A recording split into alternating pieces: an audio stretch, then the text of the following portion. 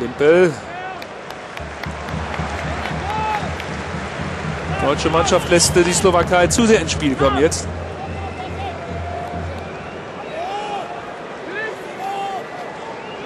So, jetzt trauen sich auch die Langkerle aus der Innenverteidigung nach vorne. Eckball von Marek Sapara, Spieler von Rosenborg Trondheim.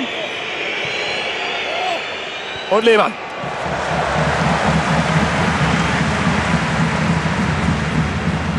Seiten aus. Noch ein neuer Spieler kommt. Toloschko für die Nummer 9 für Marek Sapara, der Mann, der hinter Robert Wittek spielte.